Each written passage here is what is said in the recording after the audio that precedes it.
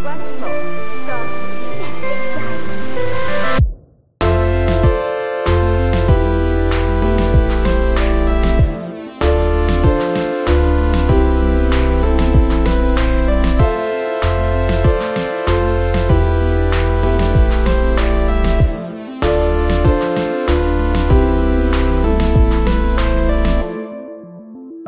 I thought there was plenty of room.